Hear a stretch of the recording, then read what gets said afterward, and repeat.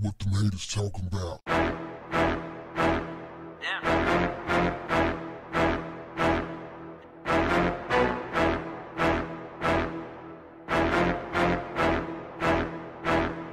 What's up, family? This week, talk show host Wendy Williams ruffled some feathers after she made off cuff remarks about gay men. In less than 24 hours, she issued an apology to the LGBTQ plus community, which accounts for much of her fan base. She posted a video addressing a segment of the Wendy Williams show where she told gay men to stop wearing women's skirts and our heels. I'll start by saying I apologize. I did not mean to offend my LGBTQ plus community on yesterday's show, she began. I did not realize until I got home and I watched a second running of our show here in New York.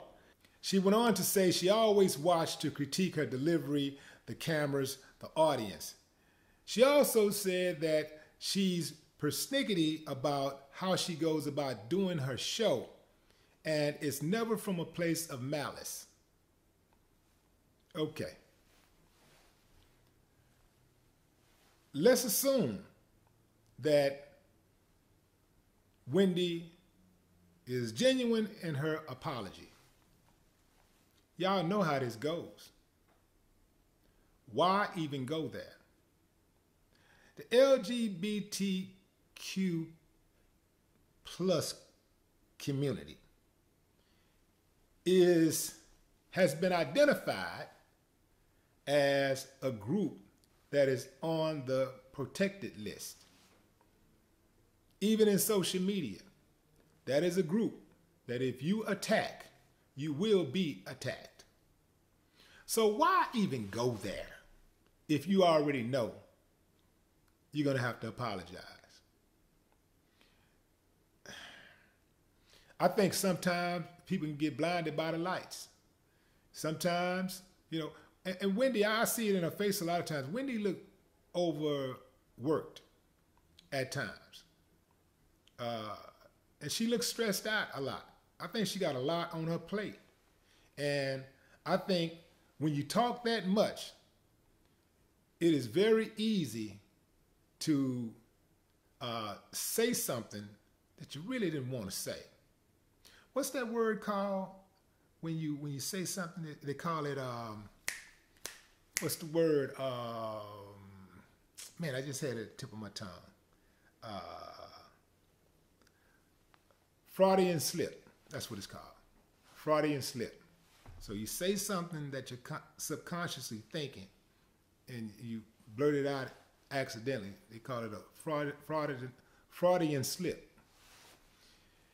That's easy to do when you talk as much as Wendy Williams talks. Now, personally, I think that she really did mean what she said, but she really didn't mean to offend.